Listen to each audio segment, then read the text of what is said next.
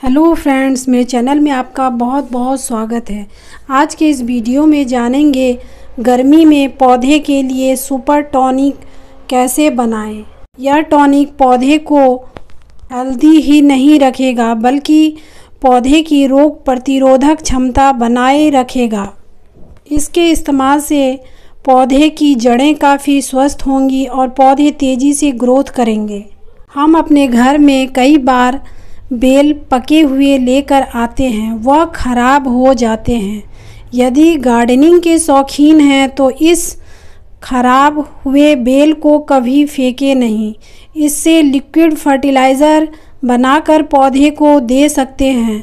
पौधे के लिए यह फर्टिलाइज़र गर्मी में बहुत ही अच्छे होते हैं। बेल के सारे पल्प को हटाकर पानी में मैश कर ले। बेल में विटामिन सी, आयरन, मैग्नीशियम और बहुत सारे पोषक तत्व होते हैं जो पौधे के लिए बहुत ही अच्छे होते हैं। इस मैश किए हुए बेल को छान लें। छानना इसलिए ज़रूरी है क्योंकि इसमें छोटे छोटे बीज होते हैं। बीज और पल्प को हटा दें। इसमें छोटा सा टुकड़ा गुड़ का डाल दें। गुड़ इस लिक्विड फर्टिलाइज़र को फर्मेंट कर ज़्यादा पावरफुल टॉनिक बना देता है।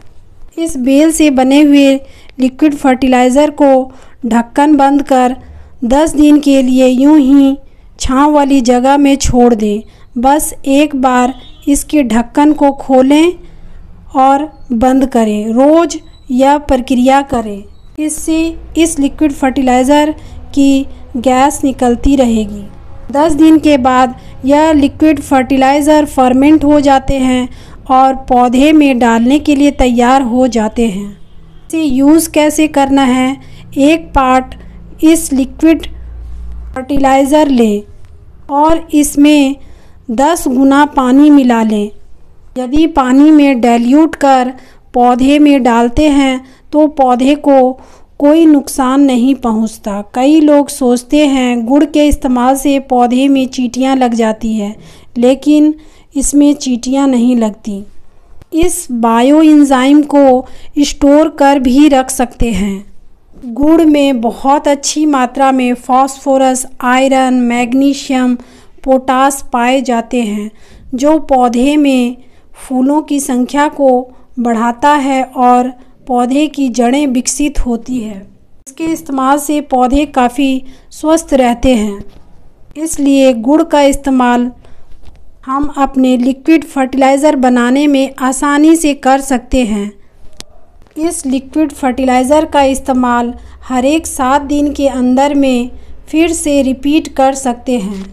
इस लिक्विड फर्टिलाइज़र का पत्तियों पर भी छिड़काव कर सकते हैं। पत्तियों पर छिड़काव करने से पत्तियाँ काफ़ी स्वस्थ रहती है। गुलाब, मोगरा, गुड़हल, अपराजिता सभी प्रकार के पौधे में इस लिक्विड फर्टिलाइज़र का इस्तेमाल कर सकते हैं। इसके इस्तेमाल से कुछ ही दिनों में बेहतर रिज़ल्ट देखने को मिलते हैं। इस तरह घर में बेकार चीज़ों से ही अपने पौधे के लिए सुपर टॉनिक बनाकर पौधे को हेल्दी रख सकते हैं।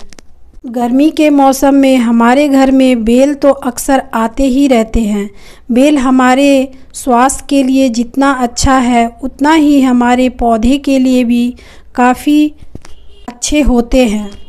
यदि बेल के पौधे तैयार करना चाहते हैं तो गर्मी में बेल के बीज से पौधे तैयार कर सकते हैं। गर्मी में बहुत आसानी से बेल के बीज से पौधे तैयार हो जाते हैं। इस तरीके से वेस्ट चीज़ों का बेस्ट मैनेजमेंट कर पौधे को हेल्दी रख सकते हैं। आज के लिए इतना ही। धन्यवाद।